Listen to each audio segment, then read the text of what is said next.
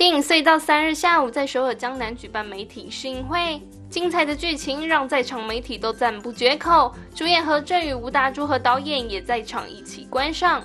不过，为了演出被困在隧道里，一直在狭小的空间内拍摄的何振宇，时间长了应该蛮辛苦的。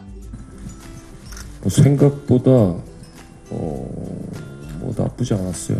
뭐 공간이 어, 또 계속 찍다 보니까 적응이 되더라고요. 네, 앞서 말씀드렸듯이 그 분진과 먼지와 그 정체 불명의 가루들 때문에 어, 장기침 정도 네, 진행이 되다가 제가 다른 인터뷰에서 말씀드렸듯이 패시티를 한번 찍어본 거 네, 그거 말고는 큰 건 없었던 것 같아요.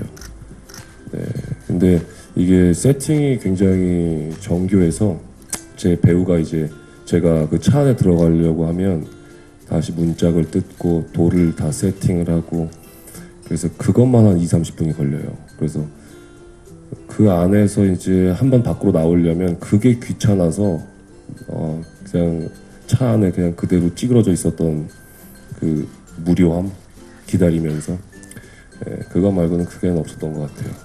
吴大珠在片中饰演一名极富正义感的搜救队队长， 挑战了跟以前甘草人物很不一样的新角色，会不会有点负担？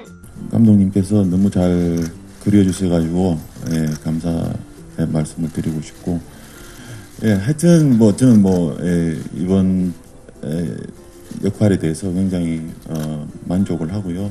예, 앞으로 또 다른 모습 보여드리겠습니다. 何振宇在片中受困时和小狗一直待在一起，要和动物拍摄，想必是相当不简单。 일단 개가 강아지 같은 경우는 아, 3개월 동안 이제 어둠 훈련을 먼저 훈련소에서 그래서 그런 훈련을 3개월 마치고 제가 받아서 어, 촬영 기간 내내 같이 생활을 했었어요. 네. 어, 물론 간식을 엄청나게 제가 줘서 제 옆에 잘 붙어 있는 거죠. 그래서 끝까지 어, 너무나 감사하게도 그 친구들이 네, 잘 옆에 있어줘서 정말 기적 같은 시간들이었더라고 생각이 들어요.